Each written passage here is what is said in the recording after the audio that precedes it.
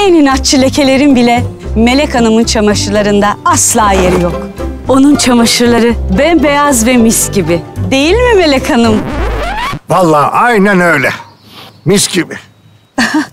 E, Melek Hanım yok mu? A kızım yok. Fotoğraf atölyesine gitti. Ay ne güzel, çok hijyenik. Bu reklamda çamaşırların arasında Melek Hanım yok. Çünkü bizce kadının rolü bundan çok daha fazlası. Karşınızda Türksel Bizce. Mesleki eğitimler, el emeği ürünlerin satışı ve daha fazlası Türksel Bizce'de.